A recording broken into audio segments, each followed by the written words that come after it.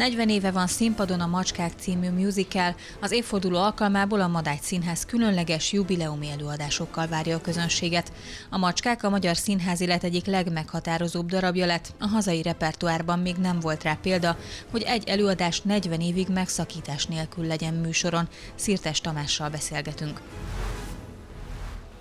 aki ennek a büszke Madács színháznak a büszke igazgatója, de most ez voltak éppen mindegy, mert ennek a darabnak a rendezője.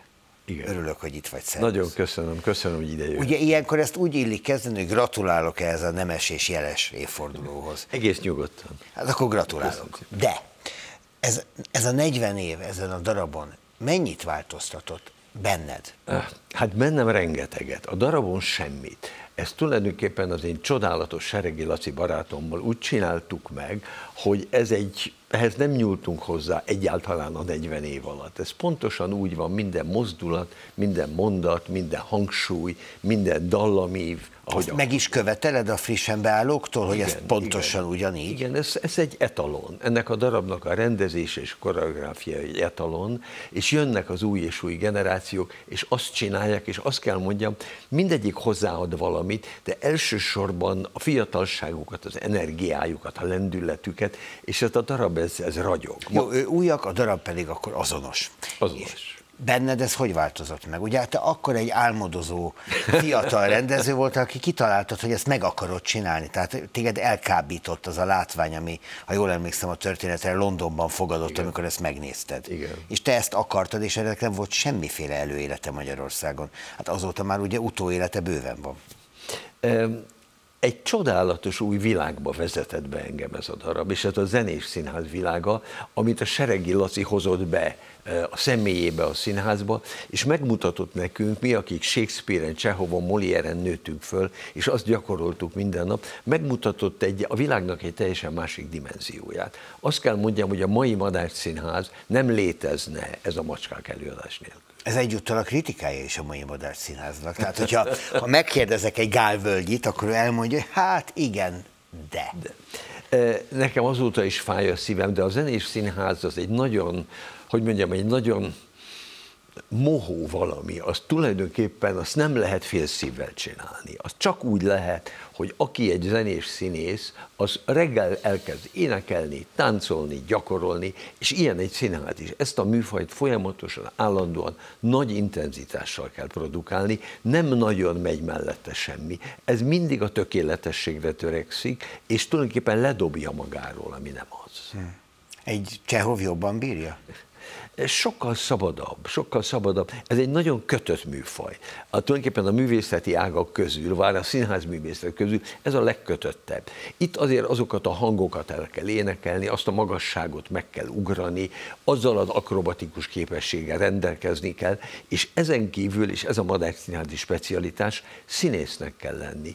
A mélységében, a dimenziójában és a drámai érzék. Hát igen, itt azt a nézők nem szokták látni, de uh, van monitor fölrakva a színpad két oldalára, ott, ott a karmester, ott látják, hogy ő most intett. Hát igen. Olyan nincs, hogy á, eszembe jutott még egy gesztus, azt most még megcsinálom, mert már jön a zene. Ráadásul, ráadásul hogy mondjam, tehát ez a halálbüntetés terhe mellett pontosan azt kell csinálni minden este, és most a Színházban egy olyan ragyogó, lelkes fiatal gárda van jelen, akik minden estéből premiért csinálnak. Tehát hozzánk, és ez a reklámhelye, érdemes eljönni, mert minden este premier. Ez kérdés, hogy hozzátok érdemes elmenni? Tehát van olyan, amikor aggódsz, hogy teltház lesz-e?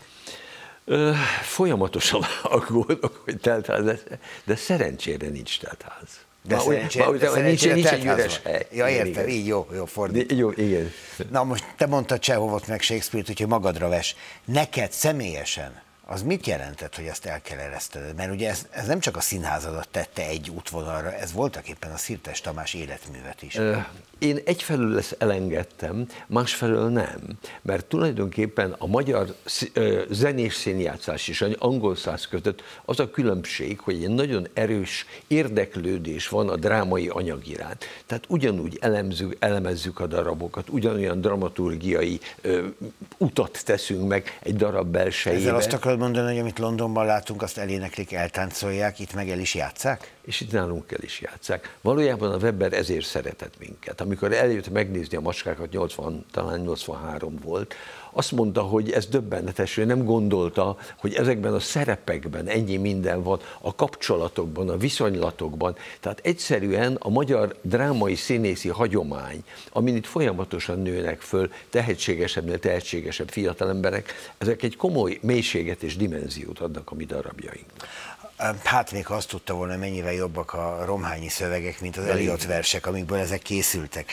De na például az, hogy milyen anya, alapanyagból dolgoztál itt a macskáknál, az mennyi volt hozzáadott értékben? Tehát, hogy Romhányit beszélted rá arra, hogy írja meg, hogy Seregi volt az, aki megcsinálta a koreográfiát, hogy egy Szakály György volt a színpadon, és akkor ezt hosszan sorolhatnánk, hogy egy Halman volt, egy Almási Éva kezed alatt. Ez egy nagyon-nagyon szerencsés csillagzat volt, az a 83. március 25 az az este, mert valóban zseniális emberek, meghaladhatatlan zseniális emberek fogtak össze, és össze is jött neki. Romhányi József, akit mondasz, tulajdonképpen újra költötte az Eliott verseket.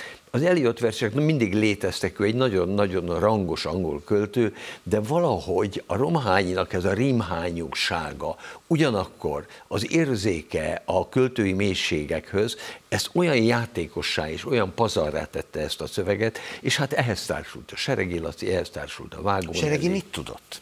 Seregi valamit biztosan nagyon tudott, amit te közelről láttál, és amitől ő ma is igazodási pont. A Sergé Laci a színházat tudta. És ez egy nagyon nagy dolog. Színházat, színházul nagyon kevesen tudnak. A színház egy hallatlan, összetett valami. Képzőművészet, zene, mozgás, irodalom, költészet, rengeteg eleme van. Egyikük másik, egyikünk másikunk ehhez vagy ahhoz ért, de a Laci egy reneszánsz ember teljességével mindenhez értett. És valójában, amit én kaptam tőle, az ez a gondolat. Az, hogy Webereket játsztok sorra, az egyúttal megáldja annak is, hogy bátrabbak legyetek kísérletezni. Például magyar ősbemutatókkal. Ott mennyire igazodsz ahhoz, hogy mit tanultál Webertől? Már bocsánat ezért a kifejezésért, de ő azért Igen. egy iskola. Igen, de, de egyébként ez a, ez a célra vezető út, hogy amiket megtanulunk ezekből a csodálatosan felépített angol száz művekből, azt odaadjuk a magyar musical irodalomnak, ez egy ez, ez arcpoétika nálunk, és végül legutóbb a 15. című darabban ezt, ezt meg is tettük, és született egy nagyszerű új magyar zenés. Az egyébként így van, azt tanúsíthatom, de ez elvárás a, a magyar szerzők kell szemben, hogy meg tudjanak egy webberi életműnek felelni, azért az egy másik világban mozgó életmű. Egy, egy, egy magyar szerző, mikor egy művet behoz egy színházba, az egy nyersanyag. Az igazi munka mindig ott kezdődik. Hát onnantól, hogy eldöntjük, hogy egy darabot eljátszunk, onnan legalább egy-másfél éves előkészületi szakasz kezdődik. A fejlesztés?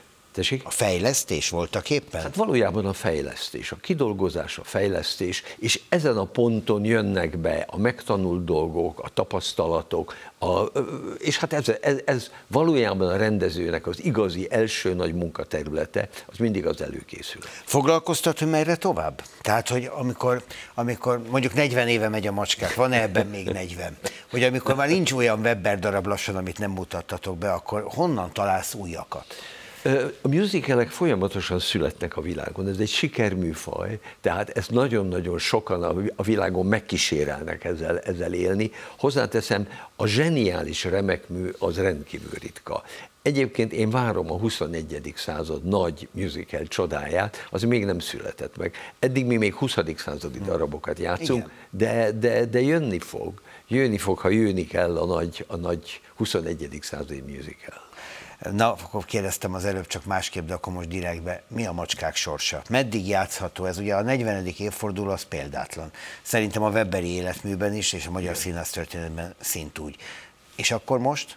Két dolgon múlik, hogy egy darabot meddig lehet játszani. Az egyik a közönség. Tehát az, hogy kell ide egy olyan intenzív érdeklődés, eh, ahogy a macskák esetében azok, akik gyerekként oda beültek és megnézték, hogy most hozzák a gyereküket és megmutatják, hogy nekik mi volt a nagy hát élmény. az unokájukat és a bizony is lassan az unokájukat. Tehát kell egy hívás a, nézőté, a nézők részéről, és kell egy szándék egy színház részéről, hogy minden nehézség ellenére újra meg újra felújítja, új generációkat léptet be és műsoron tartja.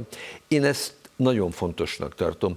A, a macskák előadása több szempontból egy, egy nagy dolog nekem egy személyes dolgom, hogy a Sergé Lacinak egy darabját én szeretném műsoron tartani, ameddig lehet Budapesten, de ezt nem csak én akarom, hanem velem együtt a madásban mindenki. Hát és a közönség is, mert jól sejtem, akkor jegyek most sincsenek, a jubileumra sincsenek.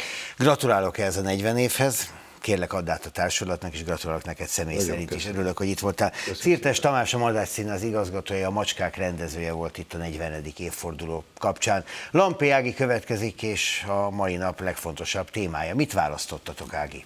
Szervusz, jó estét kívánok! Köszöntöm a nézőket. Hát mi mást választhatunk volna, ugye kétnapos uniós csúcs kezdődött Brüsszelben a főnapi rendi pontok, a háború, Ukrajna és a lőszer szállítás. A csúcs záró nyilatkozata amúgy nem zárja ki az újabb szankciókat Oroszország ellen, amit egyébként Orbán Viktor is jóvá hagyott. A magyar álláspont szempontjából nyilván fontos téma a Putyin elleni elfogató parancs, illetve a svéd és a finn átrútatlakodás ratifikálásának a kérdése, mivel hát úgy tűnik, hogy Svédország esetében valószínűleg még tovább húzódik.